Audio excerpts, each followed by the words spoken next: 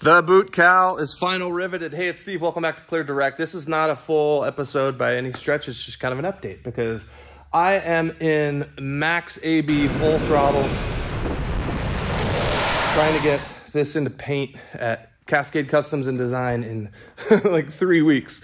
So, man, fitting up the boot cowl was a, a challenge not in of itself, but it was just getting everything else ready. So here we go. We I just finished up the firewall pass through. A challenge is this bar right here. So you can see everything is just kind of, you know, a little bit of an angle.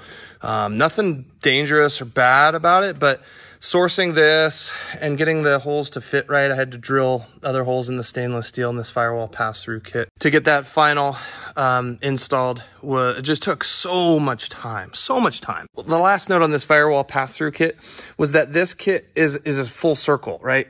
It would have helped if there were two two C shapes, right? And then you could just you know, bolted in place with all the existing wiring. Well, since this was a full circle, I had to um, disassemble this. So this was already final kind of installed. It's the vertical power primary power system connector. And I had to pull, I think 13 or 14 pins painstakingly out of this so that it could fit back through and I could finally install that and feed it back through. And then other, the other challenge was the plasma, the Lightspeed plasma electronic ignition has these two sensors. These would not fit through. So the only other option is fitting the other side of the cable through. So I disassembled the D-sub connector on that and fit it back through. So uh, again, a couple unforced errors on my part, but I got back on track. I finished up all the wiring. I tidied it up inside of the boot cowl. And I also installed the NACA air vents here with some silicone. So that's a nice, nice installation there.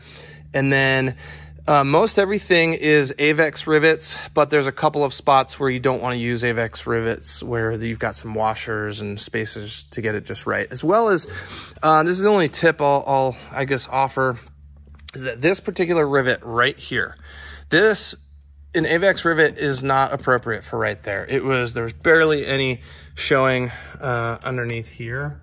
And I can see it. And so I swapped it out. I drilled it out for an AAPQ 43. So that I'm happy on both sides with that. But yeah, the underside is all done as well. Looking pretty good, feeling pretty good. This, this side doesn't fit just perfectly, so I'm not sure. I did edge form it, but uh, potentially I should have rolled it even more. Um, so I don't know if we're just going to kind of fill that with some pro fill or whatnot, but over to my painter on that, um, I'm done with this section. Over here looks a little bit better. Don't look too close. Um, I don't know if it looks good or, or not on camera and with the light the way it is. But I think with the paint and everything, uh, any sort of imperfections will will will go away. Let me show you the um, the fun fan cover right here. See, fan works. I don't know if you can hear that, but I did want to interject here and talk avionics because it's me and I'm a nerd. Um, so Garmin updated the G3X software, and to do that, I've just got a Mac, and that was fine. The one thing I did learn is if you have a dual setup like this, you have to do your right display first, your MFD first, and then you do the PFD because, and then that will then send all the updates over the CAN bus to all your other LRUs, the magnetometer, the GSU 28s, the autopilots, um, and everything else that's on the CAN bus. The one thing I have that is not, believe it or not, on the CAN bus is the GNX 375. So this guy right here, unfortunately, you have to have a Windows laptop or a Windows machine. So Mac is okay for everything else, but GNX 375, you have to have Windows, Windows 10. So I went and bought a laptop. I had a lot, I borrowed a laptop to program the vertical power system. I figured I probably need one because I need to continually update the vertical power. It's the power distribution setup, um, fault detection, and um, speeds for auto, uh, auto trim and all that good stuff. The wigwag speed, etc. So, um, so on Facebook Marketplace for like 120 bucks, I found somebody selling an old Windows 10 laptop. so that worked out pretty well. and I was able to. I, I think the reason is that you know these are experimental. Um, pretty much everything in here is um, has an experimental version, and so therefore they want it, you know, consumer, maybe prosumer, and a lot of consumers have Macs. Well, installers have Windows by and large, okay, and so this is not experimental. You can still download it as, as an experimental customer, but this is a full TSO certified software. So they want you installing it with Windows. So just a quick note on that. The, some of the things that you gain, um, I haven't turned them on yet, but you can like, you can change the, you can like save panel space for your COM and like shrink that a little bit.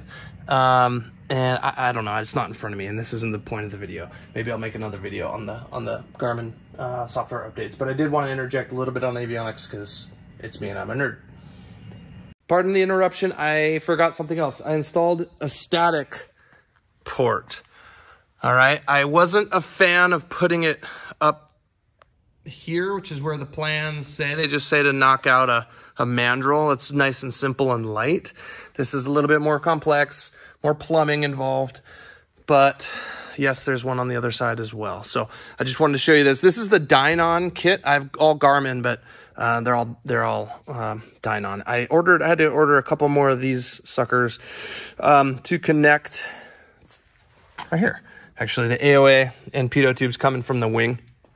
Um, to then go forward because these wings are going to come off, by the way. If you didn't realize that, these wings are coming off for paint. That's why I have uh, just a mess of spaghetti hanging out of the wings because I don't want to take the time to terminate everything yet. If it can wait until after paint, it is waiting until after paint. And really, that's the only thing I have left is cowling and windscreen. Okay, back to the video. So this turned out pretty good, I think. I, again, I designed it and had send, cut, send, cut that, and they did a fantastic job. I just spray painted it with red. And then the plan is once I get the, the windscreen fit up, um, I will cover in cloth and then um, I'll remove the GPS antenna. So I installed a couple of nut plates here so that I could just use some Allen screws. I think they're number six Allen screws through the Garmin um, GPS antenna. And this is purely just backup and it's for the G5. So I think I'll just kind of tidy up these wires right now and then start fitting up the cowling. And the first step there is to put on the prop extension, propeller, and then start fitting up the spinner. But I am really hopeful that that goes a little bit more smooth than tidying up the inside of the boot cowl because I really have to get the windscreen set up in addition to the cowling before I um, put it into paint. Paint is three weeks away. I still haven't edited the Italy video where we have the final design. I'm sure you've seen it by now but I'm really excited to get it into paint. And then it's taking a couple of weeks off while it's in paint to spend time with the kiddos in summer and just kind of get back to enjoying life. But right now it is a full bore sprint. But I did want to just give you guys that update. I hope you guys are all well. I hope that's uh, that satiates the appetite. Thank you again for pushing me over 10,000 subscribers. That's amazing. I do have some test t-shirts. You might have seen me wearing them. They're turning out pretty good. I just need to find some time, probably uh, when this goes into paint, to get them up so that you guys can can buy merch if, if you'd like. But that is the update. Hey, thanks again for watching. Until next time, it's Steve here, Cleared Direct.